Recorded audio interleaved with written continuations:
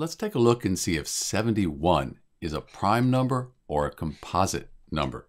And here's how we'll do it. So for a prime number, that needs to be a positive integer. This is a whole number here. So yep, we have our positive integer. Is it greater than 1?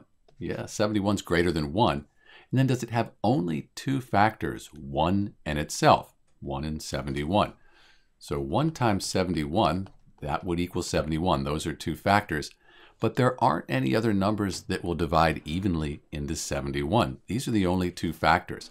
So yes, 71, it's a prime number. Positive integer greater than 1 and only two factors, 1 in itself. Let's see if it's a composite number. It is a positive integer. It's greater than 1. Does it have more than two factors? And it only has one, two factors, so it's not going to be composite. So in answer to our question, 71 is a prime number, but it's not a composite number. This is Dr. B. Thanks for watching.